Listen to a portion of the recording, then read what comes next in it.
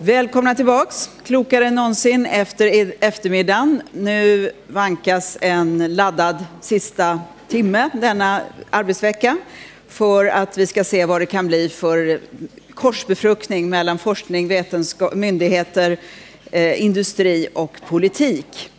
Och jag kan inte låta bli att tänka på när man tittar ut i naturen på en enskild myra eller ett bi och så kan man tycka att ja, de är bra korkade jämfört med oss människor. Men de är fenomenala på att bygga samhällen och samarbeta och delegera och få saker gjorda. Och vi som enskilda individer kan ju vara desto smartare men inte alltid jättekloka på att agera utifrån livsvillkorens bästa. Eh, och ibland får man en känsla av att det, vi håller på med en sorts Frankensteins monster i massa labb runt omkring som tar över. Hjälp oss, Alexander Giverman. Har vi överdrivit? Hur, hur, vad känner du efter dagen?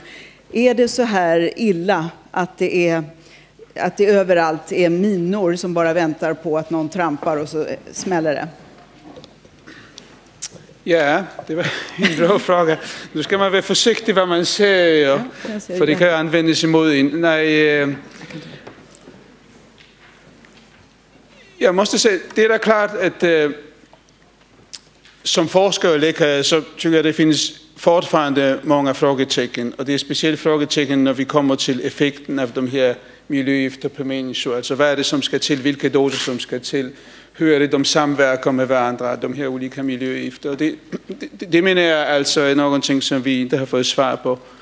Men, men, men det som är problemet menar jag, det är att, att det kanske inte alle som tar det 100% alvorligt. För, för mig som läkare och forskare är det sådan, finns det minsta smule grund till att tro att till exempel reproduktionsfunktion, som jag menar är väldigt viktig för oss, är hotad, så måste vi ta det allvarligt. Då. Även om vi inte har 100% evidens för hur de här olika ämnen fungerar och hur Tycker de du att vi har för, för starka krav på bevisföringen?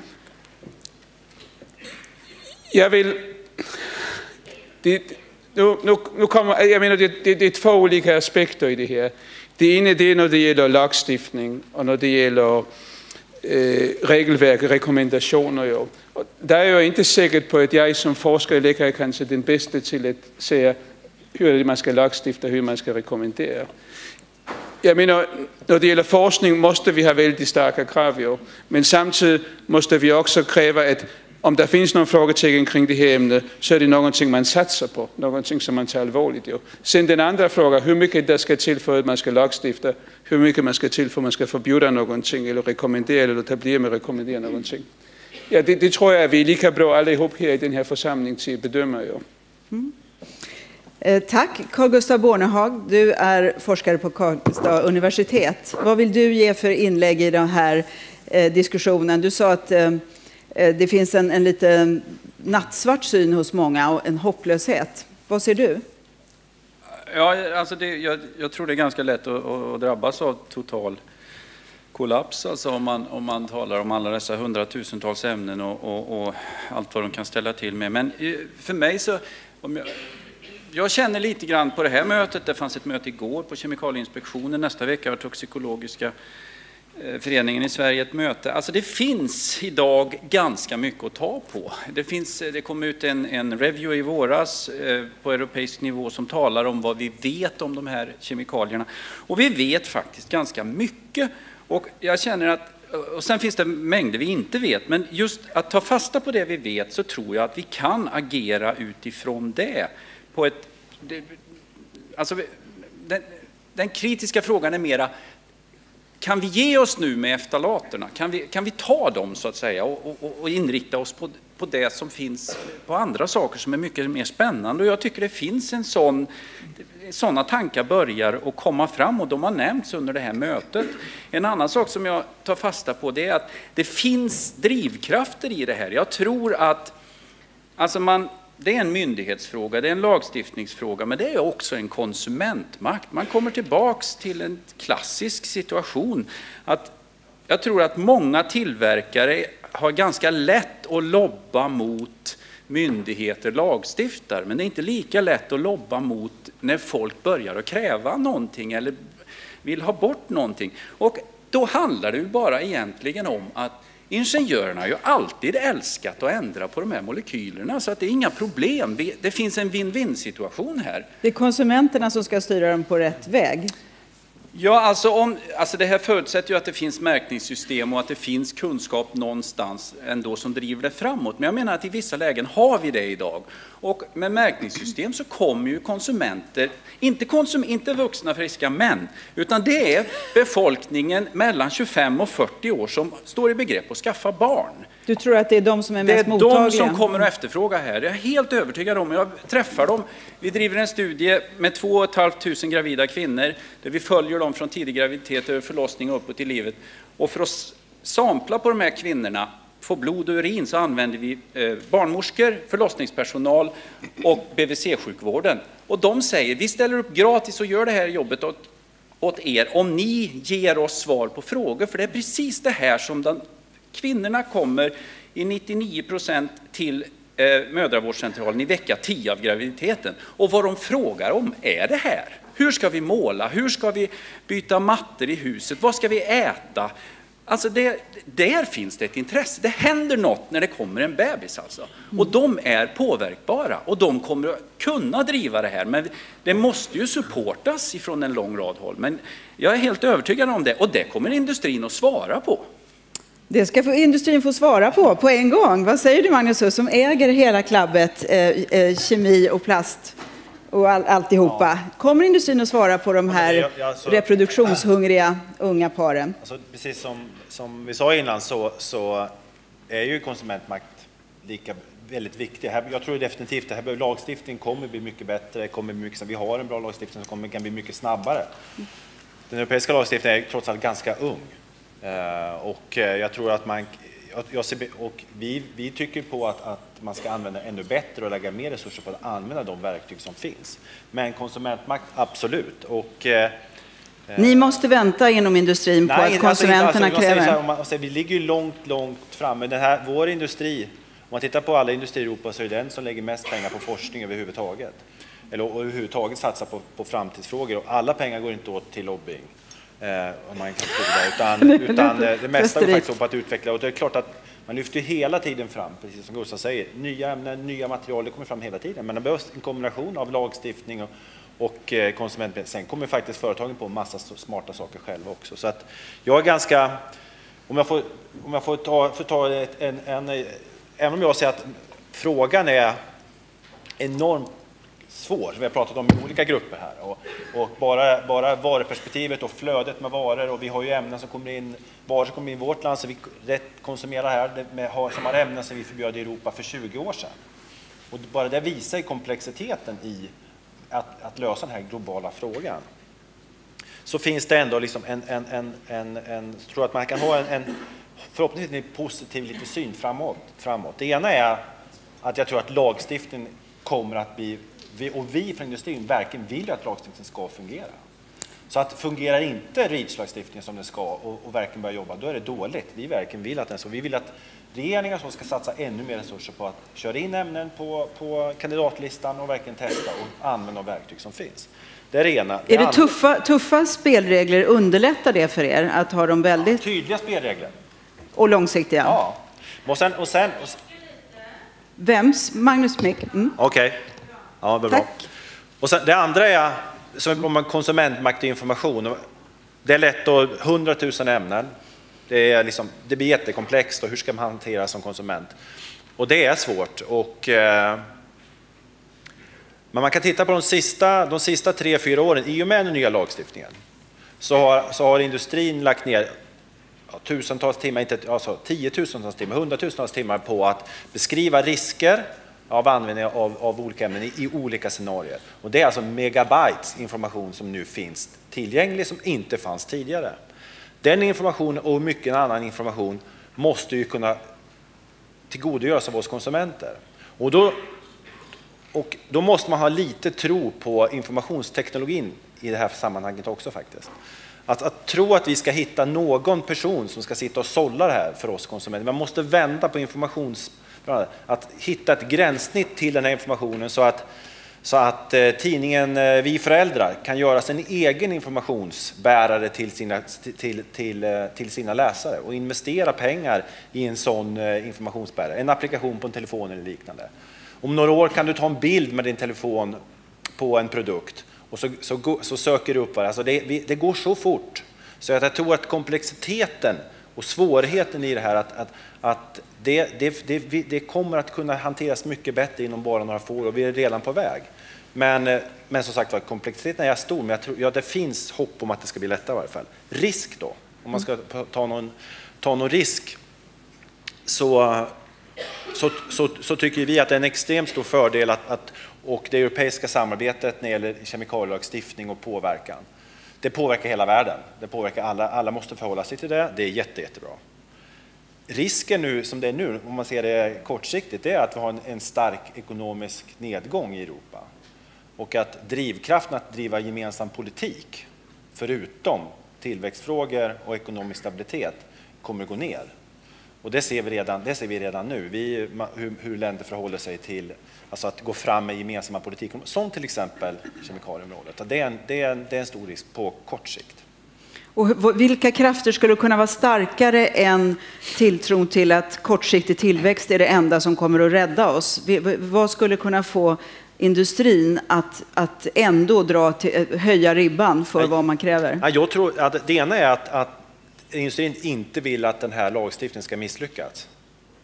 Det vore, det vore sämre. Alltså, på något sätt finns det ett ramverk i industrin att, att, som, som, som, som vi tycker är bra med den lagstiftning som finns. Misslyckas den lagstiftningen, tack vare att vi inte får något skjuts i Europa och tack vare att, eh, alltså, att det, är svårt att stå, det är svårt att stå emot eh, demonstrerande människor i Spanien och Grekland de regeringarna att, att, ta initiativ för politikområden som inte, är, som inte bidrar till att lösa de problemen. Så det finns en risk där, men att industrin kommer vi absolut hålla emot, för industrin vill att den här lagstiftningen ska fungera. Alternativen vore sämre för industrin. Till sist då, Sverige kontra EU. Hur tycker du? Vi var ju ganska tydliga i vår naturidentitet eh, förut och, och många tycker vi är otydligare nu. Hur tycker du vi hävdar oss? Alltså internationellt så tror jag fortfarande Sverige har, den, har en sån roll. Och nu, nu väldigt generellt. Och att man, att man ser på Sverige som, som ett föregångsland och att man tänker längre och så. På kemisidan inte lika mycket. Det är en väldigt, det är en väldigt internationaliserad bransch och kemister och kemiindustrin är väldigt, även fast vi har en kemiindustri kanske i Sverige som är hyfsat stor och vi har Astra som är väldigt stort så är det väldigt smalt och de, de som jobbar med tillverkar kemikalier bara i Sverige de kanske exporterar 95, 96 procent, 98 procent av sina produkter, utan de har man bara en liten del, utan marknaden är verkligen global. Så det är inget, inget riktigt svenskt syn på det sättet.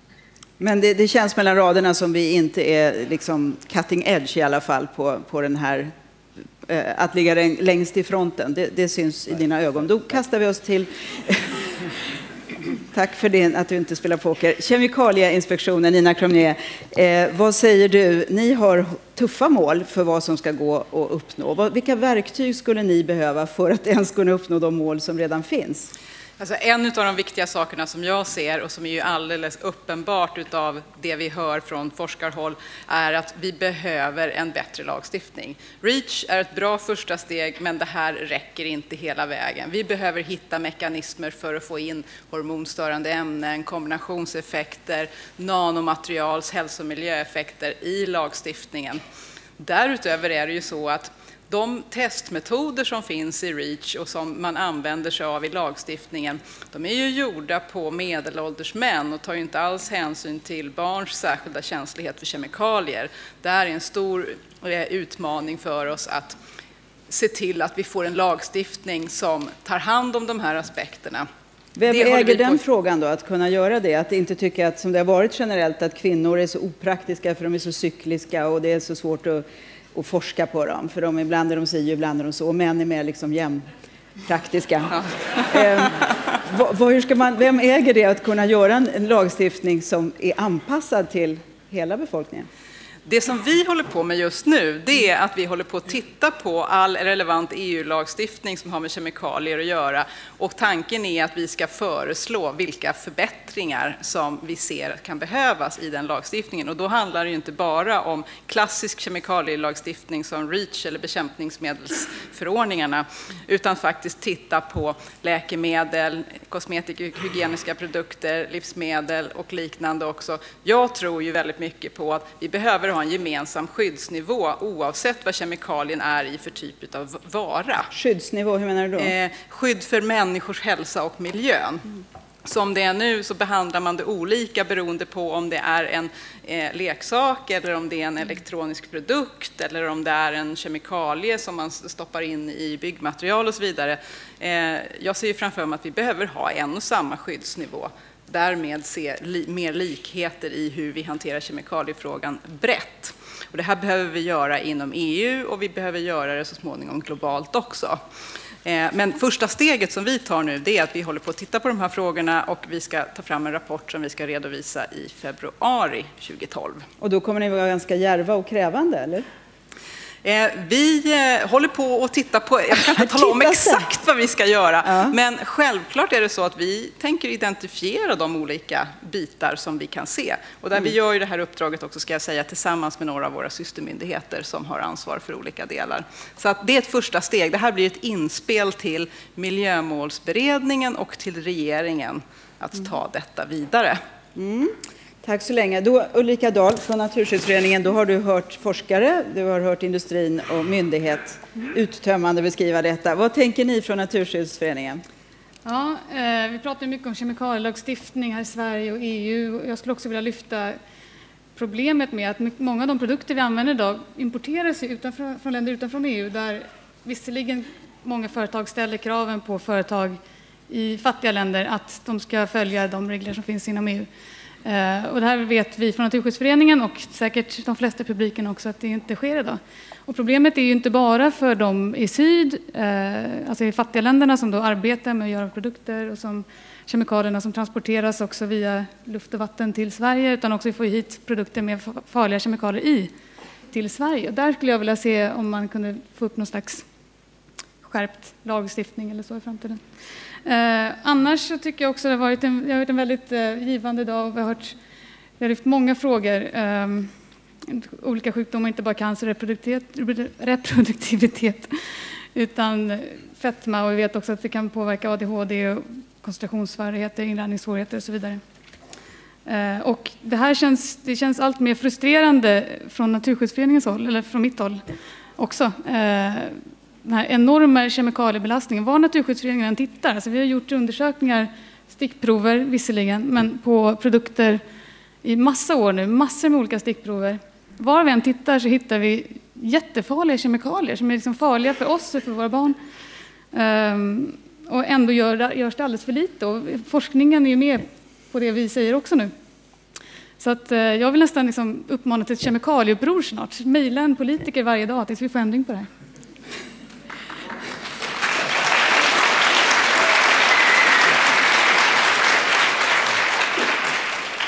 Ibland är det, ibland är det konsum- eller idag kanske mer än någonsin och med hjälp av sociala medier så går det att verkligen få igång, höja medvetenheten. Men om du skulle välja ut något område då som du då tycker är mer alarmerande än något annat, var tycker du man skulle börja? Ja, det är nog de hormonstörande ämnena som vi pratat mycket om idag, just för att det påverkar det påverkar vår fertilitet, det påverkar våra barns fertilitet. Vad händer med våra barn våra barn är födda av mödrar som också var kemikaliebelastade redan i fosterstadiet och det är den första generationen som egentligen är det. Och vad innebär det i längre lopp när vi har, eftersom vi vet att gener och kromosomer är ärftliga. Så jag skulle säga de hormonstörande ämnena.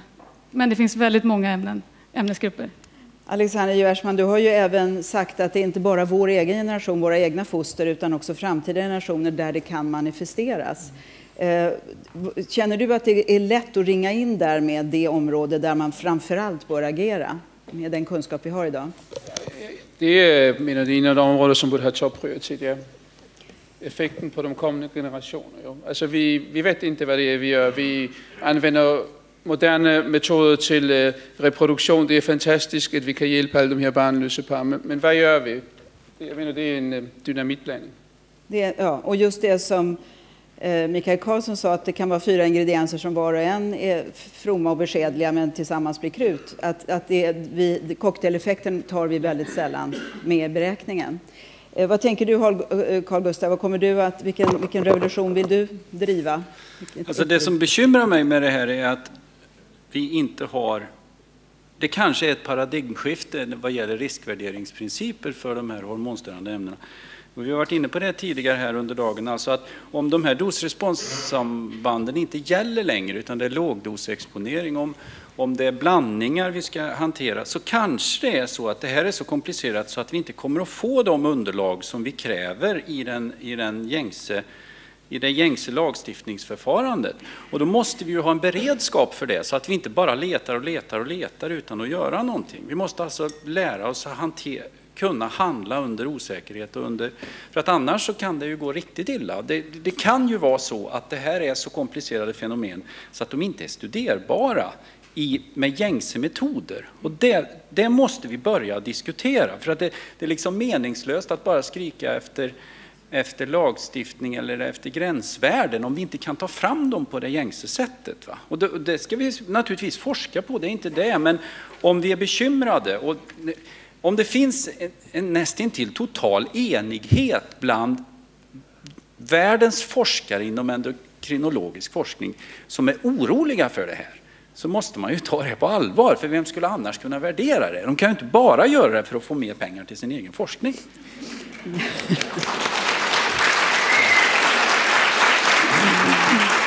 Men är, är det så att vi har en liten övertro fortfarande till linjära samband där man snyggt och fint kan bedöma att nu kommer vi till ja. tröskel, då drar vi i handbromsen Ja, men det är, ju, det är ju det vi har. Alltså vi, vi börjar våra försök, alltså hela dos-respons begreppet bygger ju på att man börjar någonstans. Och om man inte ser någon effekt vid den nivån, då kan man vara säker på att det inte finns någon tidigare.